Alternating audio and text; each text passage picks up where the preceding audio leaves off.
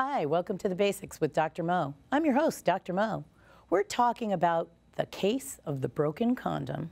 You're doing the right thing, you're using a condom, you're having fun, it feels great. Suddenly, something feels weird. You both know it. It's that kind of thing when the condom breaks. I asked women if they've ever had a condom break during sex. Absolutely not. No. What would you do if it broke?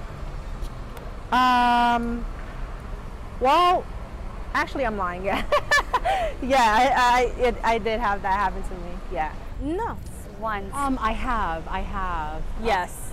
Thankfully, no.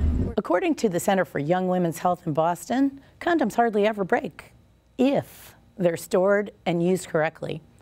The number one reason for condom breakage? There was no space at the tip of the condom for semen. Always make sure to squeeze the tip of the condom with your two fingers to make room and roll the condom all the way down. It shouldn't be a problem. What if the worst case scenario happens? Probably freak out a little bit. Uh, you know, freaked out, cried, um, got really angry, and I felt numb and it was scary and I was frightened and both of us didn't know what to do. The first rule of thumb if a condom breaks, don't panic.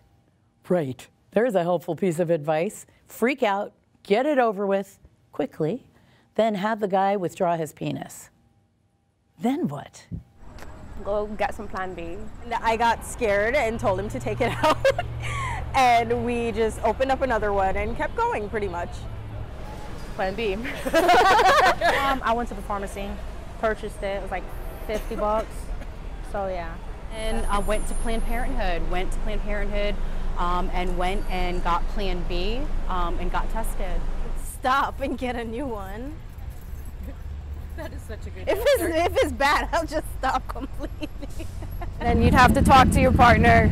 Like that's a, I would talk right away. What are we gonna do? Like, what happened? Why did this happen? We can't, like, let's not let it happen again. So, yeah.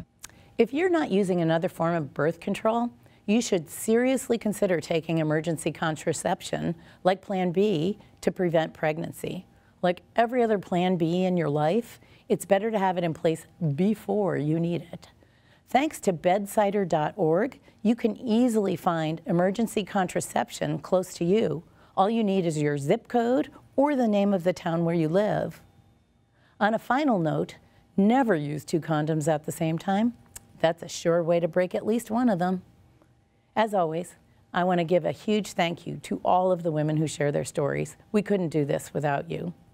Don't forget to subscribe, follow, and share the basics with Dr. Mo because you deserve to know. Thanks for watching.